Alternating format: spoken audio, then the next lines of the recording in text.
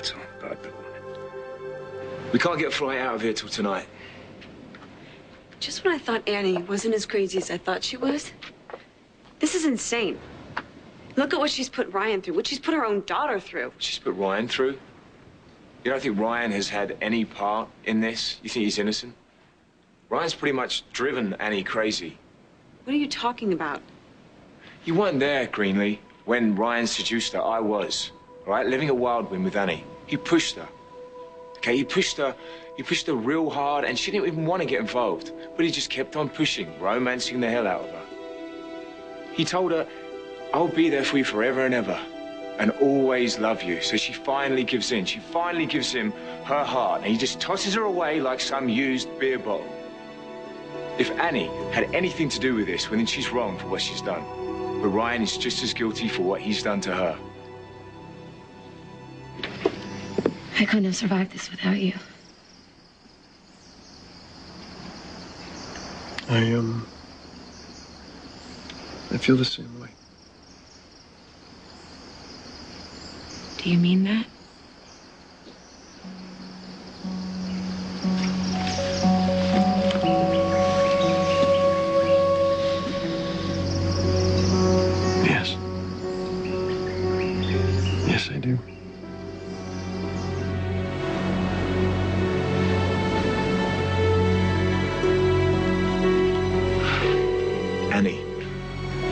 Ryan is on to you. Come on, pick up.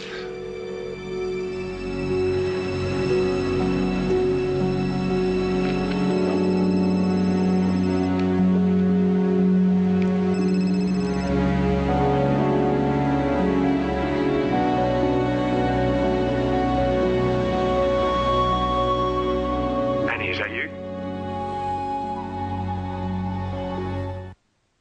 very much for coming by so quickly. Okay, I'll give you lay of the land.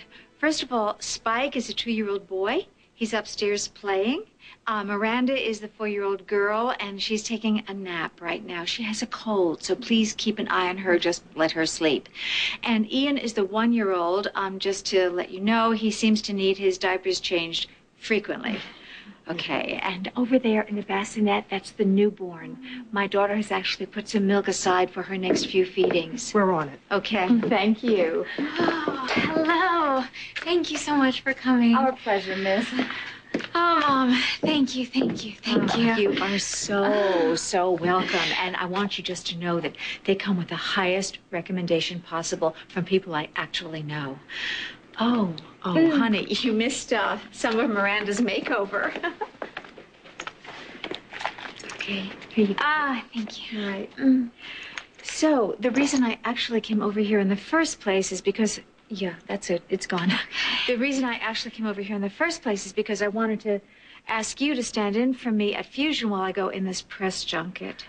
But seeing all you've got going on here, I know that you are the one who needs some help. And you have to let Reese know that. Oh, um, Mother, it's okay. It's not as though she flaked out on me. I, I insisted that she go. Well, I, I just hope that she's not taking advantage of your good nature. I love her. She is everything I've ever wanted in a partner, and I know that she feels the same way about me. We have a beautiful daughter together. Miranda adores her. We're getting married.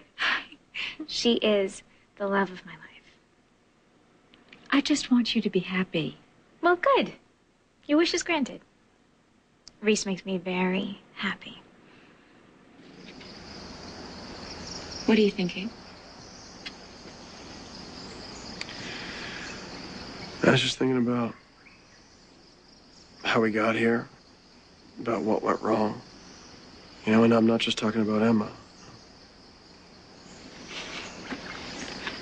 talking about with us, too.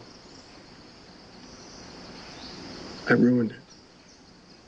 I mean, we were really happy, and I screwed the whole thing up. It wasn't just you. I've done a lot of things that I regret too. Well, you did those things because you were trying to save our family. Because. because you love me. I still do love you. I know. And I turned my back on you. Because you still love Greenlee.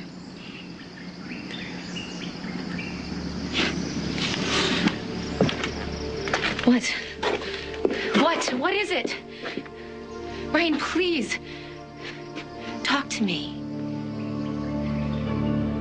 Why are you calling Annie's cell? To see if she'll answer. See if Ryan's right. Maybe get her to slip up.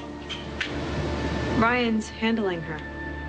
Ryan is emotionally involved, and if this is one of Annie's schemes, and Ryan slips up and lets on that he suspects her, well, then God knows what she's going to do and what it will mean for Emma. Yeah, well, it's a moot point. You're gonna have to let him deal with it. She left her phone here. Wait a minute. She left her phone here. Maybe there's evidence on here that she's behind all of this, like people that she's called, phone calls that she's.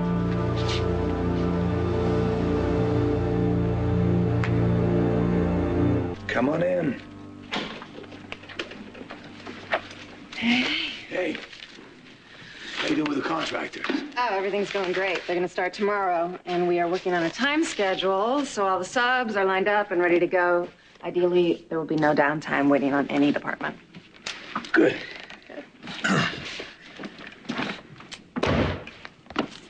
you know, um, wow, just looking at you now, you, you kind of remind me of someone. Who? A man that I love very much.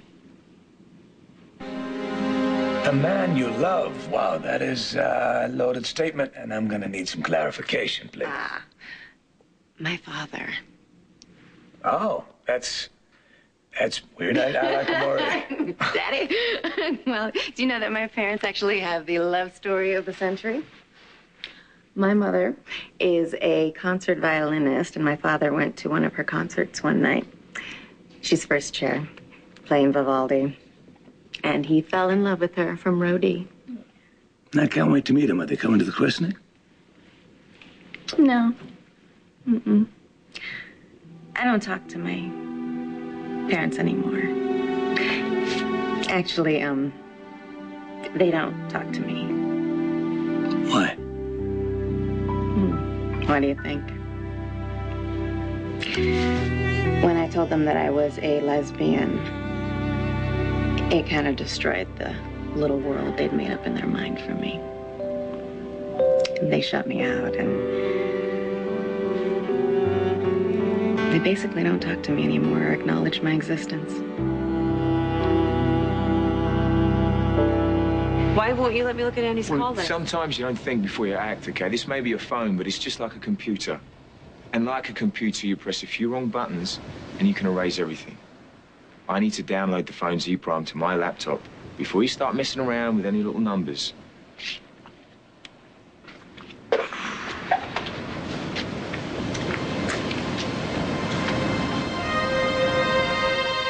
What are you thinking about?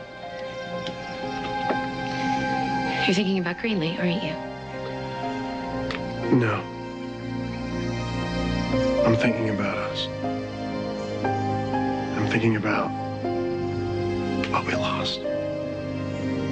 That's all I ever think about. I know. I wish